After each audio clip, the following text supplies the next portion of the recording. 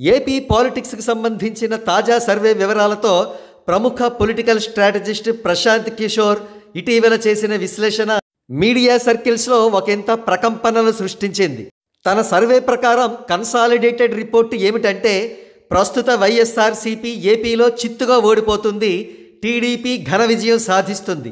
In short YS Jaganmohan Reddy గారు గద్దె దిగుతారు చంద్రబాబు నాయుడు గారు కాబోయే ముఖ్యమంత్రిగా ప్రమాణ స్వీకారం చేస్తారు.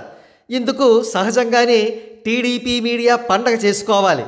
కానీ ఇక్కడ అర్థం కాని అయోమయం కలిగించిన విషయం ఏమిటంటే జనసేన మీడియా పండగ చేసుకుంటోంది. ఆ పండగ టీడీపీ చేసుకుంటోన్న పండగ స్థాయిని మించిపోయి ఉంది. జనసేన వాట్సాప్ గ్రూప్స్లో కూడా ప్రశాంత్ కిషోర్ సర్వే వివరాలు విస్తృతంగా కనబడుతున్నాయి.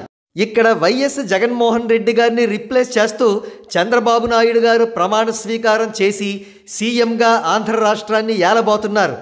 మధ్యలో జన సైనికులకి పండగేంట్రా బాబు అని జెన్యూన్ జన సైనికులు అయోమయంతో జుట్టు పీక్కుంటున్నట్టుగా తెలుస్తోంది. వారు ఇలా జుట్టు పీక్కుంటున్న సందర్భాలు ఇంకా చాలానే ఉన్నాయండోయ్.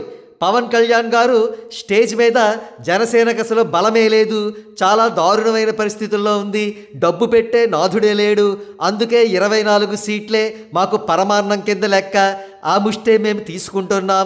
ఇందుకు ఎవడైనా వ్యతిరేకిస్తే వాడి తొక్కతేస్తాం వైసీపీ కోవర్ట్గా ముద్ర వేస్తాం ఖబర్దార్ జాగ్రత్త అంటూ వార్నింగుల మీద వార్నింగులు ఇవ్వడంతో జెన్యూన్ జన సైనికులు అయోమయంతో కొట్టుమిట్టాడుతున్నారు. వారికి జనసేన భవిష్యత్తు కళ్ళ ముందు క్లియర్గా కనబడుతోంది. ప్రస్తుతం చంద్రబాబు నాయుడు గారు సీఎం అవుతారు.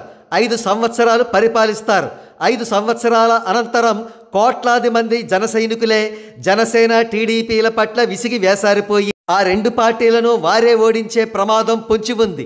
అక్కడితో జనసేన భవిష్యత్తు పరిసమాప్తం అయ్యే పెను ప్రమాదం కూడా ఉంది. ఇవన్నీ తలుచుకుంటూ మౌనంగా రోధిస్తున్న జన్యూన్ జన సైనికుల వేదనను ఆర్చేదెవరు తీర్చేదెవరు. ఈ మొత్తం పరిస్థితికి కారణం పవన్ కళ్యాణ్ గారి విచిత్రమైన ఐడియాలజీ అని చెప్పక తప్పదు.